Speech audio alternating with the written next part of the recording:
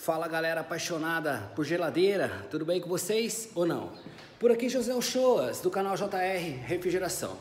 No vídeo de hoje nós estamos aí com uma geladeirinha da Consul, tá? Modelo CRD 36, as especificações dela aqui, tá bom? Modelo CRD 36 é uma geladeira que trabalha com termostato, ok? Diferente da outra, a CRD 36 G, essa aqui é a CRD 36F, ela trabalha com termostato, ok? A outra é a CRD 36G, eu vou mostrar para vocês que trabalha com placa eletrônica, que é essa geladeira aqui, ó. Olha para vocês verem, ela trabalha com placa eletrônica, que é a CRD, aqui ó, CRD 36G, Bana que ela já trabalha com sistema de placa. Uma geladeirinha que já trabalha no sistema de placa, placa eletrônica que aciona o compressor. Trazer um vídeo muito relevante para a galera aí que está começando na área da refrigeração, ok? Sobre essa geladeira. Comprei essa geladeira, as pessoas disseram para mim que a geladeira está sem gás. E pelo que eu conheço dessa geladeira, realmente é uma geladeira que dá muito problema de vazamento. Eu vou mostrar para vocês onde é o vazamento dessa geladeira. Mas primeiro vamos energizar essa geladeira para a gente para gente passar uma, uma dica aí, beleza? Vamos lá. Vem aqui, vamos energizar essa geladeira. Repara na minha extensão, não galera, mas é uma extensão, uma extensão mais de teste mesmo. Beleza? Acabei de energizar ela aqui, o compressor já está funcionando. Mas vamos, vamos lá ver se a luz de dentro acendeu. Tá? Aqui ó, luzinha acesa. Tá bom? A geladeira já está ligada. Agora você pode perceber aqui no compressor, ó, que ele está muito silencioso, ó. Você quase que não escuta o barulho dele, tá? Isso aí é um indício forte de problema de fluido refrigerante. Por quê? Porque o gás ele tem que trabalhar pesado dentro do compressor e o compressor faz um barulho diferente porque o gás está circulando dentro do sistema. Eu falo isso pela experiência que eu tenho já de várias geladeiras desse modelo que já chegaram para mim e quando a geladeira funciona, o barulho muito silencioso, pode saber que está com pouco fluido refrigerante. Essa é a dica, beleza?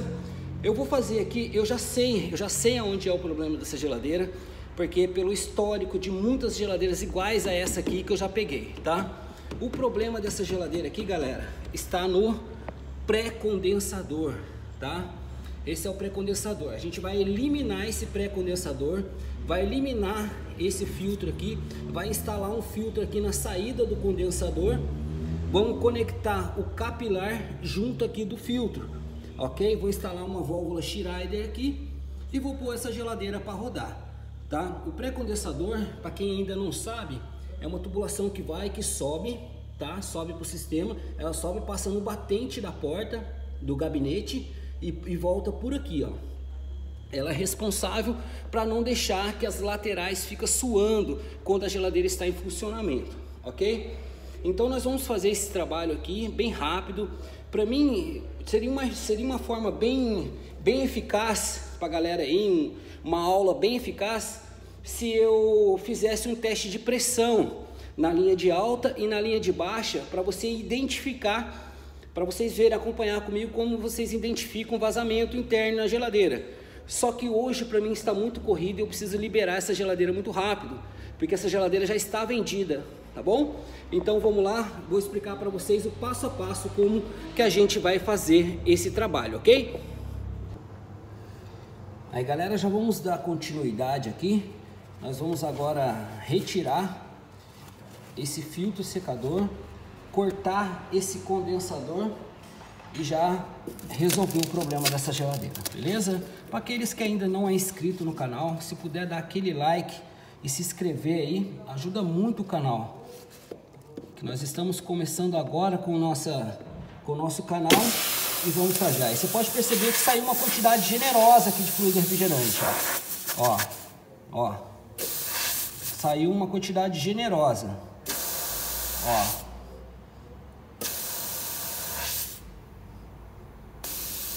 E aqui, ó.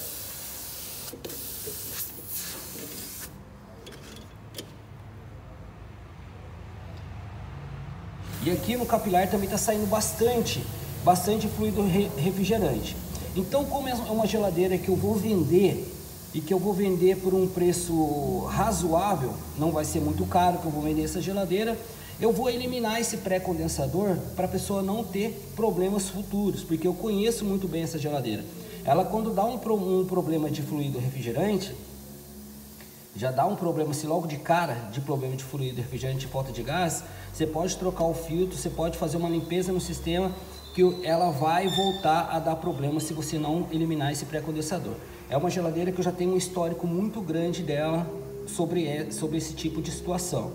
Tá? Então nós vamos sim eliminar esse pré-condensador e pôr essa geladeira para rodar. Se eu fizer uma limpeza no sistema aqui, vou vender essa geladeira, vou deixar o filtro secador aqui do mesmo tá? e vou ter problema daqui um, um ou dois meses com a pessoa. Então eu não quero ter esse tipo de problema, porque se essa geladeira tivesse com o compressor queimado ou tivesse com, com algum tipo de problema relacionado a como que eu posso dizer para você, algum problema eletrônico no termostato, a gente, algum problema de fluido refrigerante relacionado a não entupimento, a não vazamento, nós poderíamos manter esse pré-condensador aqui. Mas como ela está com problema de falta de fluido refrigerante mesmo, vamos eliminar, pelo menos assim, a gente não vai ter problemas futuros, tá? A gente vai explicar para o cliente, para a pessoa que for comprar essa geladeira ou o serviço que foi feito. Se a pessoa aceitar, a gente dá continuidade e vende tá? Então é muito bem, é muito importante você especificar para a pessoa primeiramente antes de você especificar, você dar a explicação do que o serviço que foi feito nessa geladeira antes da pessoa comprar, porque pelo menos ela vai estar comprando ciente, beleza? Vamos eliminar aqui esse esse filtro agora aqui.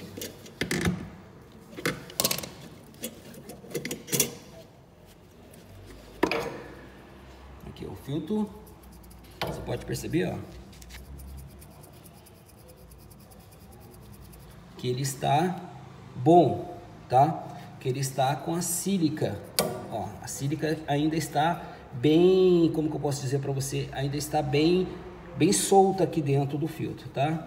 Isso aí não é um diagnóstico preciso, mas pelo menos você já, já tem uma, uma probabilidade de, de não ser o problema somente nesse filtro, tá? Então o que, que nós vamos fazer aqui então? Já que eu vi que tem, que tem fluido refrigerante no sistema, eu vou abrir aqui, ó, aonde eu cortei, deixa eu mostrar aqui para vocês. Eu vou abrir aqui onde eu cortei, tá? Abrir um pouquinho que eu dei uma estrangulada com o alicate. Vou dar uma abertura aqui. Vou abrir aqui o tubo de serviço e vou energizar ela para me testar a pressão aqui do compressor, porque também pode ser um problema de compressor também. Vamos testar a pressão dele.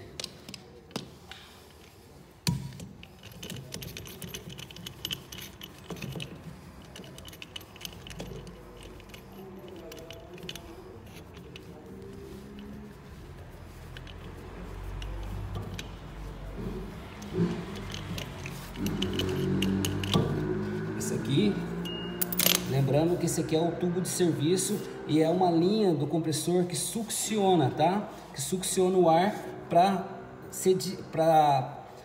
descarregar na linha de alta, tá? Esse aqui é o, a linha de descarga, que é a, a linha de alta que sai daqui e ela vem até aqui. Como nós é, eliminamos o pré-condensador, nós não vamos usar aqui, vamos a linha de, a, o tubo, o filtro secador vai ser instalado aqui, ó, o filtro secador, ok? Vamos energizar ela para a gente ver a pressão desse compressor. Ó.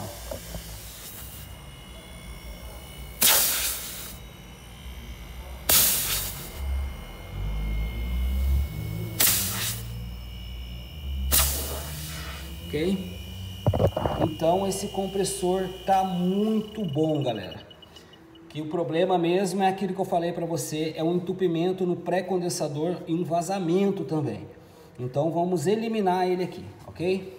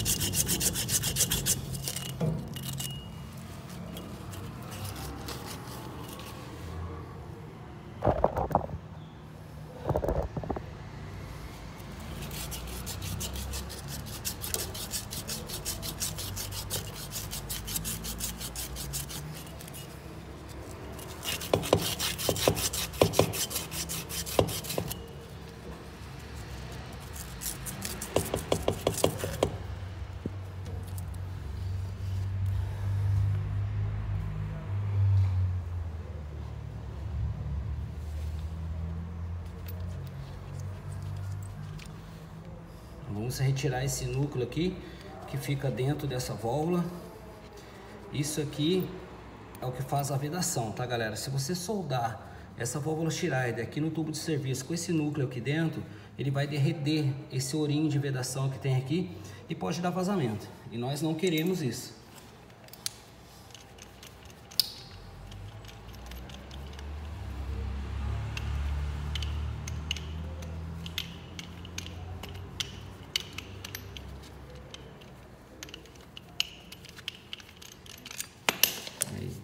Para quem não é inscrito no canal aí, puder dar aquela força pra gente, deixar aquele like, pode ter certeza que conteúdos iguais a esse aí eu tô sempre disponibilizando no meu canal. As geladeiras que chegam para mim, eu já ligo a câmera e nós vamos identificando o problema dessa geladeira juntos, beleza?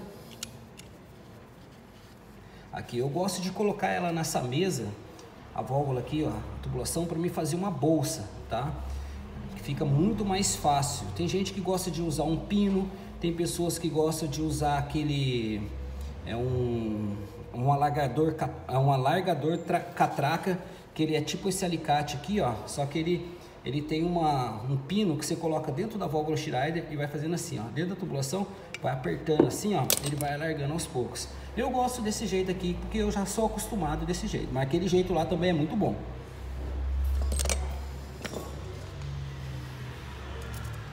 Tem pessoas também que gostam de retirar esse pino aqui, esquentar aqui, retirar esse pino e já colocar direto a válvula Schreider aqui, tá bom? É muito bom também, mas eu gosto mais de fazer desse jeito. Mais rápido, mais prático e mais preciso.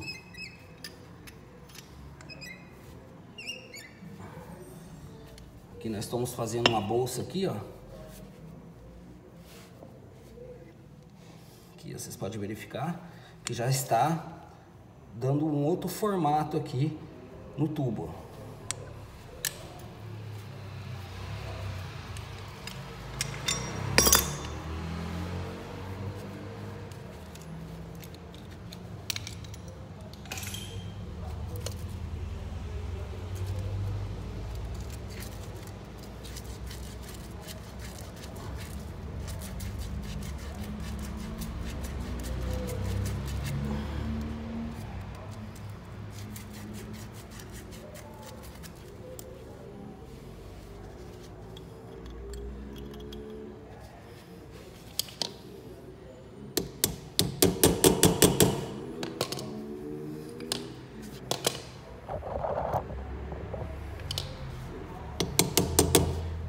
Que já encaixou perfeitamente. Agora nós vamos para o filtro. Vamos instalar o filtro aqui, ó. Nessa saída de, do condensador. E vamos unir ele ao tubo capilar.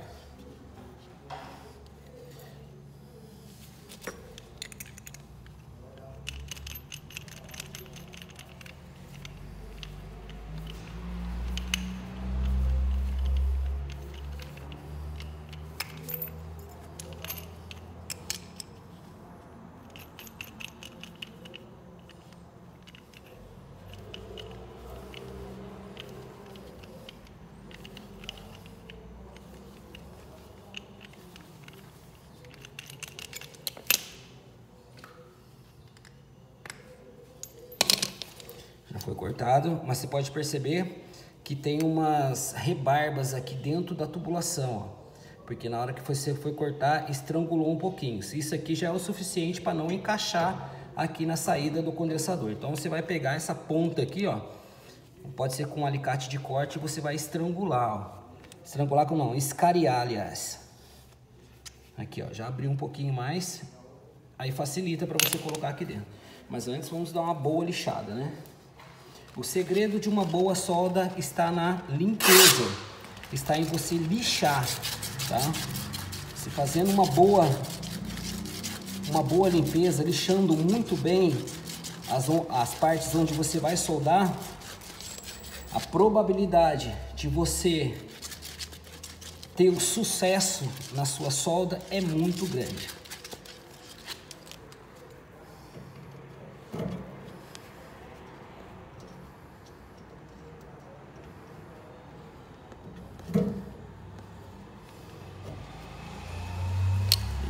Alicate aqui, coloca mais um pouquinho para dentro, dá uma viradinha aqui para não correr, para não descer o, o, capilar e dá uma, uma beliscada aqui, ó. Bem de leve mesmo, galera. Olha. Dá essa beliscadinha aqui que é... Isso aqui faz toda a diferença. Pronto, ó, tá bem firme agora. Agora o que, que nós vamos fazer? Nós vamos fazer a brasagem. Nós vamos começar a soldar. Aí galera, já vamos dar continuidade aí, vamos começar a fazer a brasagem, galera. Vamos lá.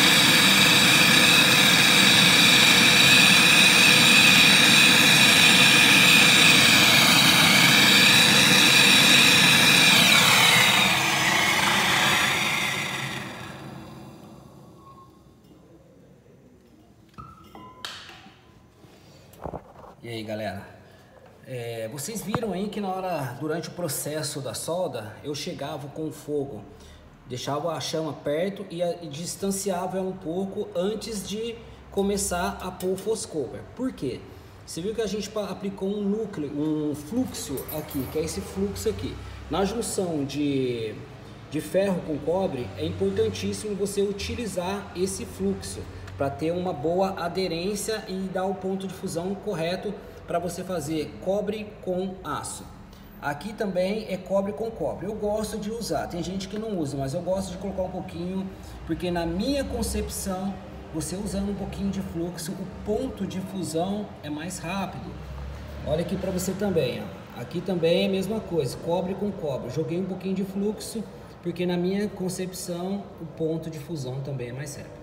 Galera, então o que que acontece? Você viu que a minha solda aqui eu gosto de usar bastante material, né? Por que, José, você gosta de usar tanto material assim para fazer? Por várias vezes a solda já ficou com só com aquela voltinha, com aquele anelzinho aqui na, na junção de aço com cobre, por várias vezes, para ficar uma solda bonita, tá? Mas eu não, eu gosto, eu sabia que eu tirava toda hora o maçarico, esperava a, a, o foscoper é, penetrar bem na onde está sendo brasado e depois colocava mais. Por quê? Porque eu já tive muito problemas em fazer solda bonitinha.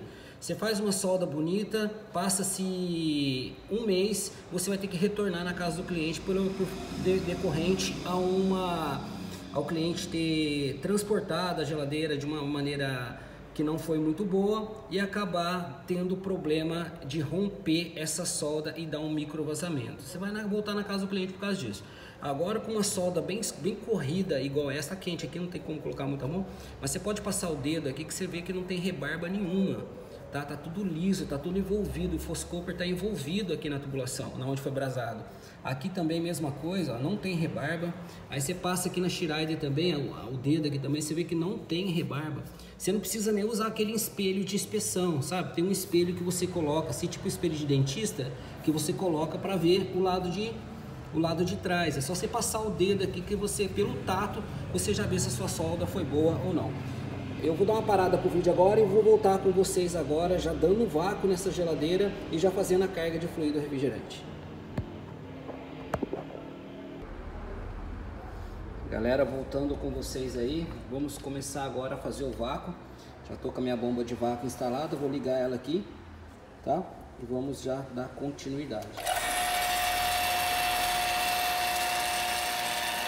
Aí, ó, você pode perceber que agora ele está fazendo eu estou com o meu manifold da saída de baixa fechado, tá?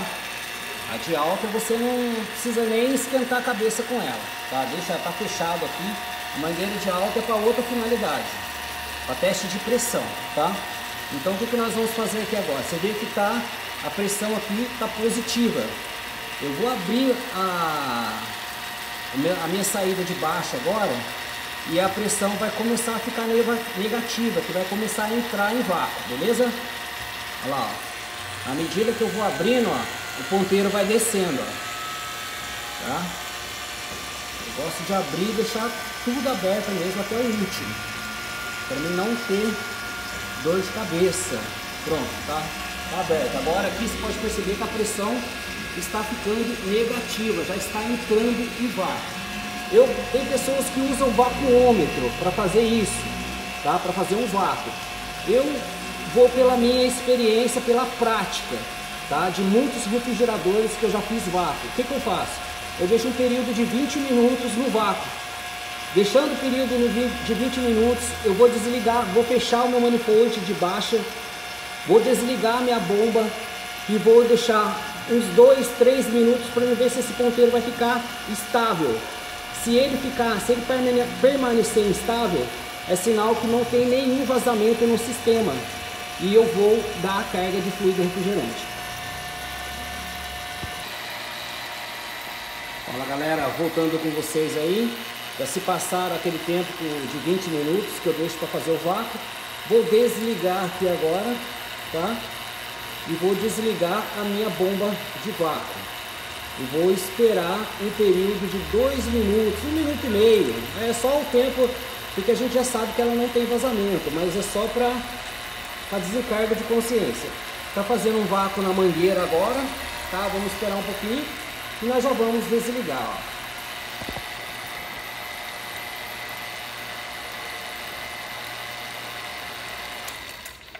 Pronto, já está desligada a minha bomba de vácuo. Agora eu vou desconectar essa mangueira, você pode perceber que o, ponteiro lá, ó, ele permanece colado. Ele está negativo, a pressão está negativa está colada aqui. Então esse é sinal que, a, que o vácuo foi perfeito, beleza? Agora vamos desconectar a mangueira amarela da bomba de vácuo e vamos conectar ela na garrafa de fluido refrigerante. Vou mostrar para vocês como que eu vou aplicar esse, esse fluido refrigerante aqui, galera.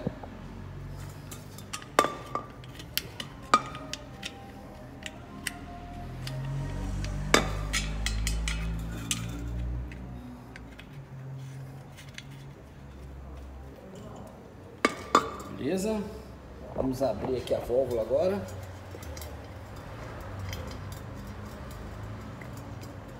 Pronto, o gás já foi para dentro da, das mangueiras. Agora eu vou dar uma expurgada aqui na mangueira vermelha. Para tirar todo o ar que tiver na mangueira. Agora a gente vai abrir a saída de baixa. Vamos lá. Deixa entrar fluido refrigerante à vontade no sistema. Que vai chegar uma, um momento que a pressão vai ficar equalizada com o sistema e não vai mais subir fluido refrigerante para o sistema tá? Aí você vai ter que fazer o que eu vou fazer agora. Pronto. Aí, ó. Já está equalizada a pressão. O que, que nós vamos fazer aqui agora? Vamos desligar, fechar, né? Fechar a nossa saída de baixa e vamos energizar. E você vai ver esse ponteiro aqui descer. Vamos lá, para vocês verem. Pronto, olha para você ver o ponteiro descendo. Esse é sinal que a geladeira já está começando a trabalhar, o compressor está bom, o compressor já está bombeando o fluido refrigerante. Dá uma dica para vocês, se esse ponteiro aqui descesse, colasse aqui e ficasse em vácuo, ficasse negativo, teria umidade no sistema, ou seja, o vácuo não foi muito bem feito, tá? Então como que eu vou fazer agora? Como eu já a pressão, a pressão já já se estabilizou, já equalizou com o sistema. Eu vou virar minha garrafa de ponta cabeça e vou aplicar fluido refrigerante de forma líquida no sistema. Por que, José? Porque assim é o jeito mais prático que eu gosto de fazer a minha recarga de fluido refrigerante. Aqui, ó. Tá de ponta cabeça, agora eu vou abrir a minha Pronto. Já abri e já vou fechar, porque ela entra de uma forma muito forte. Já vou fechar. Pronto. Isso. Como eu já fechei a, a, a minha saída de baixa, eu vou liberar um pouquinho, porque você pode perceber aqui que parece que tem líquido aqui, é o gás que está entrando de forma líquida. Então eu vou abrir aos poucos, ó. Você pode perceber que está saindo mais, está indo mais para o sistema. Galera, como você, aqui ó, condensador já está todo quentinho, isso aqui é um indício muito grande de que está bom, de que a recarga de fluido refrigerante está perfeita. Não adianta você colocar muito fluido refrigerante, senão vai dar retorno aqui, vai começar a ficar congelado essa saída de retorno aqui. Isso não é bom, porque força muito o compressor. Beleza, galera? Então esse é o jeito que eu faço a minha recarga de fluido refrigerante, tá? Se você gostou, deixa seu like e se inscreve no canal e vai acompanhando, porque as geladeiras que chegam para mim aqui, imediatamente eu já ponho para rodar. E vou ligar a câmera e vou gravar tudo para vocês acompanhar comigo aí. Um forte abraço e até o próximo vídeo.